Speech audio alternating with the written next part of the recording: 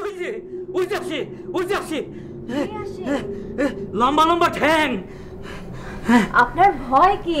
আপনি তো দানব ভূত পেতে নিয়ে কাজ করেন। এই দৈত্যের আমি চিনি না। ওই দৈত্য ওই দৈত্য আমার মারতে আসছিল। আপনাকে মারতে আসছিল। এমন সাধ্য কার আছে? আপনি বিশ্রাম নিন। নিন। ওই যে আবার আসে এই কবিরাজ মশাই কেমন আছেন? ভালো নাই রে বাবা। কি আশ্চর্য জিনিস দেখলাম। জন্মেও দেখি নাই রে। ওই যে এই এই লম্বা লম্বা ঠ্যাং রাবণের মতো মুখ এর দশটা হাত। ভগবান মাগো বাঁচাও। কই আমরা তো কিছুই দেখতে পাচ্ছি না। কবিরাজ মশাই ভয়ের কিছু নেই আমরা আছি সব ঠিক হয়ে যাবে। না না ভগবান আমারে মারার জন্য ওই রাক্ষসে পাঠাইছে। কবিরাজ মশাই আপনার তো অনেক ভূত পেতনি আছে তাদেরকে ডাকুন। এ এ এইবার আর ভূত পেতনি আর বুঝি রক্ষা নাই রে বাবা। এই ওরে বাবা রে।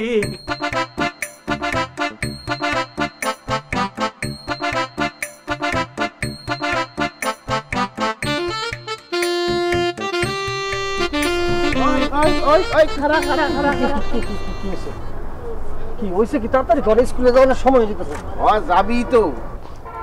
আচ্ছা কাইল লাইতে বলে শিবু কবিরাজে ডরাইছে হ শুনলাম তো। ডর দার দেখাইছে কেন না ওই দেও দানা ভূত পেত নিয়ে কারবার। তার আবার ডর দেখাবো কেটায় হ্যাঁ সেটাই তালাশ করতেছি। তুই একটু খোঁজ খবর নিস তো। কথা হলো গিয়ে আপনার হলো মুরব্বী মানুষ গায়ের সব ধরনের খোঁজ খবর আপনাকে নৌকে রাগায়। আর তাছাড়া হইল গিয়া এই ধরনের এত বড় বুথ কোথেকে আইব না আইব এটা কি আমাকে মাথায় আইব কোন? অনেক সময় তো পচা সামকেও পাও কাটে নাকি? দাদু বুঝছি। আপনি আমাদের প্রশাসনিক মনে করছেন? দুঃখ পাইলি? না গরিবের আবার দুঃখ কি?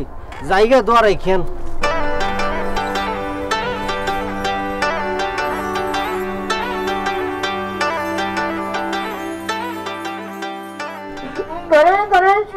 ছিল শিব কবিরাজ আর ভূত শিব কবিরাজ আর ভূত শিব কবিরাজ শিব কবিরাজ আসে নাই? শুনলাম হাসপাতালে। কেন? হাসপাতালে কেন? কোন দৈত্য নাকি?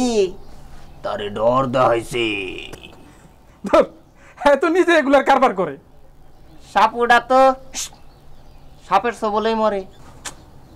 আইছিলাম তো ওষুধ নিতে। এখন তো দেখি হ্যাঁ নিজেই অসুস্থ। হ্যাঁ। হাসপাতালে। শিব কবিরা যখন অজ্ঞানরত অবস্থায় হাসপাতালে। ঘরে ঘরে শিব কবিরাজ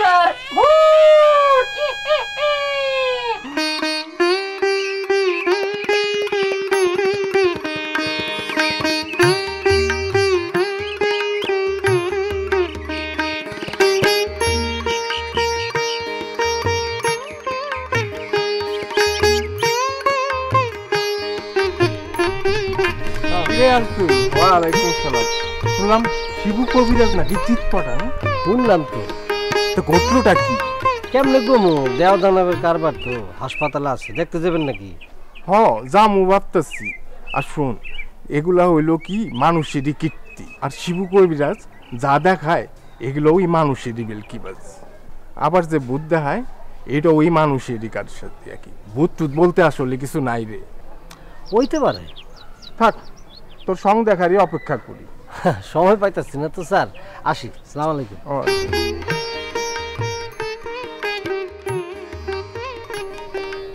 হুম কবিরাজ মশাই ভয়ের আর কিছু নেই। আপনি ভালো হয়ে গেছেন। একটা ওষুধ লিখে দিচ্ছি খাবেন তাহলে রাতে ভালো ঘুম হবে। সকালবেলা উঠলে দেখবেন সব ঠিক হয়ে গেছে। আপনার সাথে আর কেউ আছে? আছে। ওই যে গৌরাঙ্গ। গৌরাঙ্গ আয়।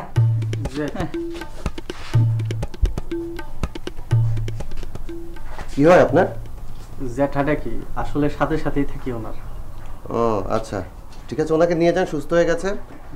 একটু ভয় পেয়েছিল? ওষুধটা খাইয়ে দিবেন? তাহলে সব ঠিক হয়ে যাবে। ওয়ালাইকুম আসসালাম কি খবর? আছি ভালো আছি। এই কি অবস্থা কাকা? ভালো। ভালো এখন ভালো বেশ ভালো। কি এখন যেতে পারব? হ্যাঁ এখন যেতে পারবে। যেতে পারব। আর কয়েকদিন রাখা যায় না? দরকার নেই সুস্থ মানুষ হাসপাতাল কি করবে? আচ্ছা ঠিক আছে। এই শোন। জি। এই ভয় পাওয়ার কোনো কারণ নাই তুই পাহারা দিস আমরা লগে আছি অসুবিধা নেই। কেমন আছেন? জি ভালো আছে। আপনি কেমন আছেন আছি আছি আছি ভালো আছি। আলতু ভাই আপনাদের গ্রামে এত ভূত পেতনি না আপা হয়েছে কি সবই তো শিবু কবিরাজের আন্ডারে। মানে কোনো একটা ভূত মনে হয় তার সাথে বিট্রে করছে। আমি কিন্তু ভূত ভয় পাই। ভূত দেখবেন নাকি আপনি? ভূত দেখা যায় নাকি? হ্যাঁ ওটা কোনো ব্যাপারই না ওয়ান টুর ব্যাপার। দেখবেন আপনি কাজ করবেন আমার লগে সাইকেলে যাবেন অমাবস্যা রাত থাকতে। ভূত দেখতে পারবেন ভূতের কথা শুনতে পারবেন নৃত্য শুনতে পারবেন তারপর মেলা কিছু দেখতে পারবেন কোনো অসুবিধা নাই। শিবুকাকে বেশি ডরাইছে টেম্পারেচারটা বেড়েছিল এখন জ্বর অনেক কমে গেছে। চিন্তা করেন না ঠিক হয়ে যাবে। আর আমি আপনার জন্য একটা লাউ নিয়ে আসছিলাম ক্ষেতের একদম ফ্রেশ ওহো এটা কি দরকার ছিল? রাখেন রাখলে খুব খুশি হমু আপনারা তো আমগো অতিথি না? আমগো এত উপকার করেন রাখেন রাখেন প্লিজ আর ওই ডাক্তার সাহেবের জন্য আমি চিনি চাম্পা কলা খুঁজতেছি উনি এটা খুব পছন্দ করে। আমি পাইলে নিয়ে আপনি বললেন। আসি তাহলে, হ্যাঁ? কাকা আসি।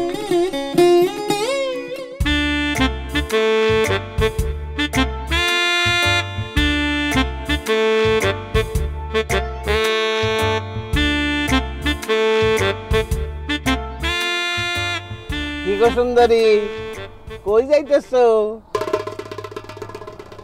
শিবু চাচার বাড়িতে যাইতেছি। সেখানে নাকি ভূত ধরা পড়ছে ভূত দেখতে যাইতেছি। তোর সাহস তো কম না। তুই ভূত দেখতে চাস?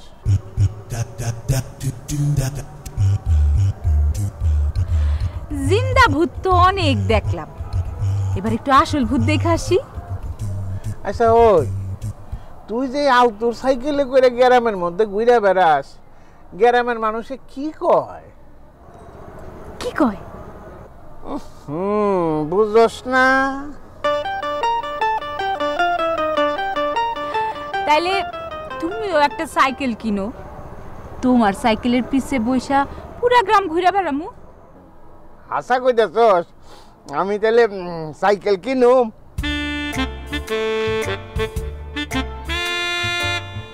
তোমারই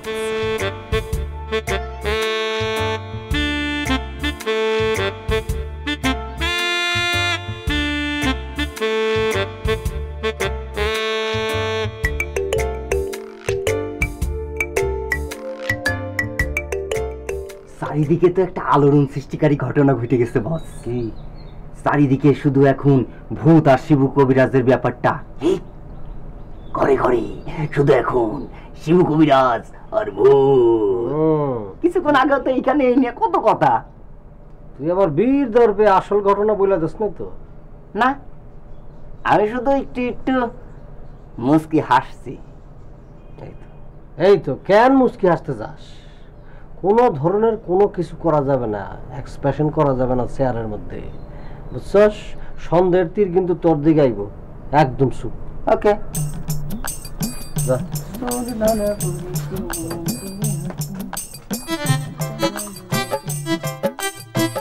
আরে ভূত পেতনি ভূত পেতনি তো আমার সতীন। সে বিয়ের পর থেকে ভূত পেতনি নিয়ে গড় করতেছি। আমি ডরাই না। কিন্তু সেদিন যে কি হয়ে গেল, হঠাৎ ওই পাশে রান্নাঘরে গেছি। আচমকা দেখি, যদি আগুন লয়ে যেতাম একটারে দৈরেই লয়ে আইতে পারতাম। তোমার এত সাহস! সাহসের কি হলো ওরা তো ভূত কি করব? পেতনি ওরা কি করব? মানুষের সাথে ভূত পেতনি কিছু করতে পারে না। আমার সাথে আছিল আগুন। আগুন থাকলে বড় বড় জীবজন্তু সবাই পালায়। আমার না ভূত পেতনি দেখার এত শখ। একদিন আমার একটু দেখাইবা? আরে সেমরি এগুলি তো অশরীরই দেখা যায় নাকি? ছায়ার মতো আসে দুইটা কথা কয় তারপর জায়গা। তাহলে তুমি কেমনে বুঝো? ওই যে বাতাসে কর্পূরের ঘ্রাণ নুপুরের শব্দ দুইটা চারটা কথা কয় তখনই বুঝে লইতে হইব।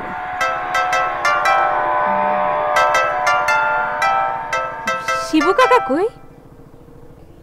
ও তো গৌরাঙ্গের সাথে অন্য গ্রামে গেছে। আইতে সন্দেহ যাবে। ও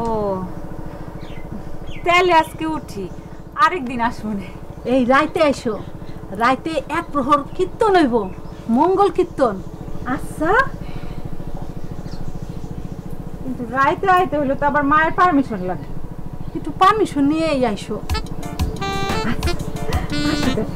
আইসো কিন্তু।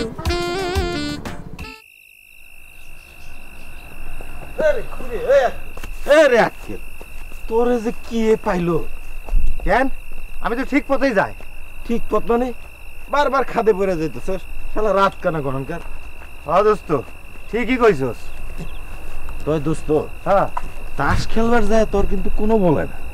এবারে নিহুল দেন না মানুষ। আমার তো একটাই সমস্যা দোস্ত ওটা রাত কানা এবার এই এই জন্য তো কানা উলা ধরে। এই এই কে রে এই কে রে? এই কে কে কে? আমি আলতু আলতু এই এই আলতু এই। হ্যাঁ। এ তুই কই যাস? ওই তো শিবু কবিরাজের বাড়ি যাই রে। এই এই কস কি? ওটা তো ভূতের বাড়ি বেটা। এই তোর সাহস তো মেলা হ্যাঁ? সাথে কেরা? আমি মহাব্বত। যাইবা নাকি? গান শুনতে? শিবু কবিরাজের বাড়ি? গান হইব। কই তুরিও যাইব লগে। হ্যাঁ? মাথা খারাপ? ওটা তো ভূতের বাড়ি। ও না কেন ভূত কিন্তু সব জায়গায় ঘোরাঘুরি করতেছে। হ্যাঁ?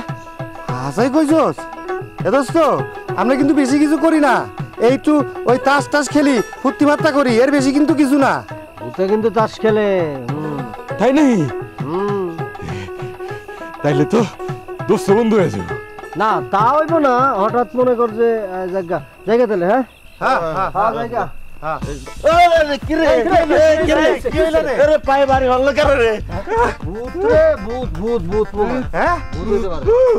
জায়গা আরে পায়ে বাড়ি হল কি রে ভূত রে ভূত ভূত এই ভূত এই ভূত ও পারে হ্যাঁ ভূতের বাতাস সাবধান ভূতের বাতাস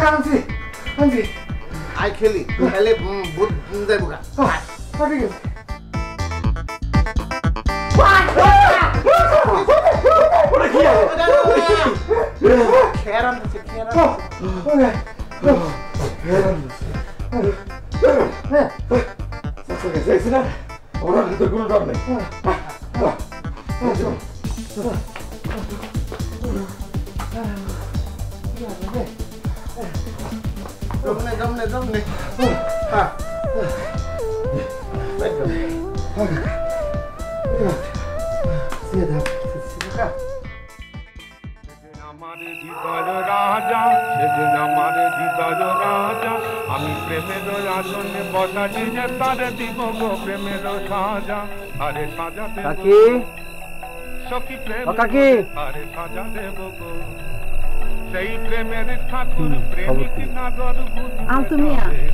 তোমার তো মেলা বুদ্ধি। কদিন কি করা যায়? কাকি ওই ভূতের ব্যবসাটা ছেড়ে দিতে। কাকা ভূতের ব্যবসা ছাড়লে ভূত কি তোমার কাকারে ছাড়বো ছাড়বো নাকি? এগুলো তো ডাকলি আহে। অসুবিধা কি? তাই না?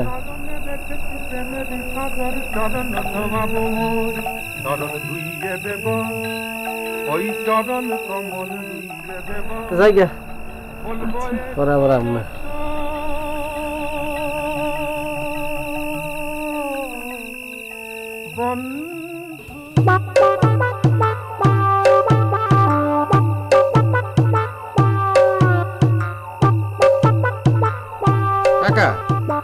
ওই শালা আল তুই তো ভূতের ডরটা দেখাই দিল। ওই বেড়ার লগে দেখাইছিল। হ। হে আর মহব্বতে গেল কীর্তন শুনতে। শুনলাম কই তুই যাইব? কস কি? এই রাইতে? হ। আমি তো ওগো সাহস দেখা এবারে টাস ঠিক হয়ে গেছি গা। আর খেলবই না মেজাজটাই খারাপ হয়ে গেল গা। কোন কি কাকা? খেলবেন না আমরা বারুদ যাব কামনে? জানি না। মরছি না। লাগবো। আসছে রে। যা বাড়ি যা বাড়ি যা কোনো অসুবিধা নাই। আরে বেটা ছেলে ভূতের ভয় কি এর? হ্যাঁ? এই মাত্র না কইলি রে কই তুই গান শুনতে যাইতেছে হ্যাঁ? ও যদি ভয় না পারে তো তখন কি যা যা। যা, অসুবিধা নাই যা। গান গাইতে গাইতে যা ভূতে চলে যাব গা যা। চল যাই। নে।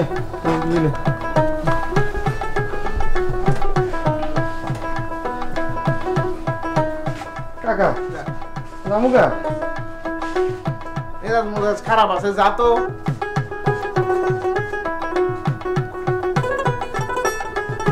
হুম, এ বলে কীর্তন শুনতে যায়।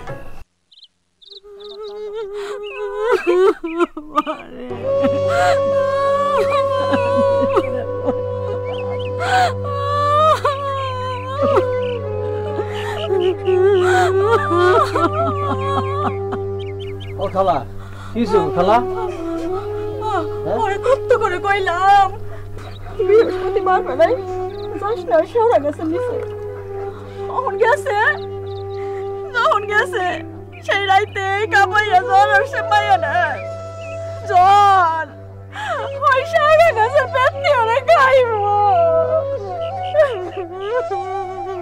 দূর যা খালা কি কও না কও আজারে কথা? এখন কি করবা? নিতে তো চাইছিলাম ওই শিব কবিরাজের কাছে। কখন হুঁতাছি ওরেও নাকি ভূতে ধরছে। কখন যে আমি কই নিয়ে যাই। এই ওর অবস্থা? এরে আল্লাহ ওর তো মেলা জ্বর। আর তো হাসপাতালে নিতে হইব। ওই তোর আমি যদি পিছনে বহাই দেই তুই যাইতে পারবি রে? না। না রে বাবা। ওইটা হাসপাতালে কাজ না। আর ওই শিবু কবিরাজের কাছে নিতে হইব। আচ্ছা বুঝছি। আমি দেখতেছি আমি ব্যান নিয়ে আইতাছি। আই চিন্তা করিস না আইতাছি আমি।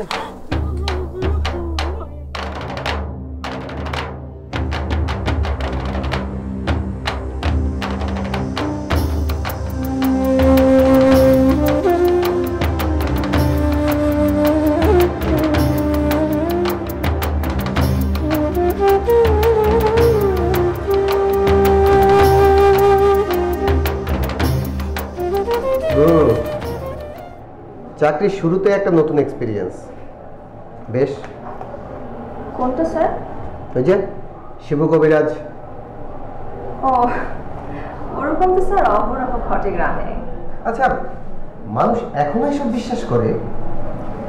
শুধু বিশ্বাস করে? তারা এর পেছনে হাজার হাজার টাকা খরচ করে। ওই যাও তুমি কি ব্যাপার তুমি? আমি দেখছি স্যার। আমি দেখছি আসেন।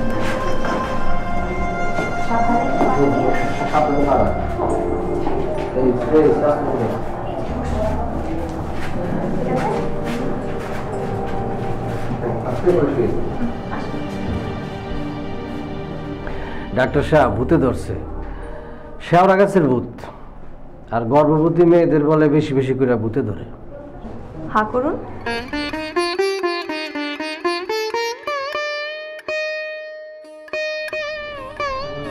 অনেক। দেখি আমাকে একটু দেখতে দিন।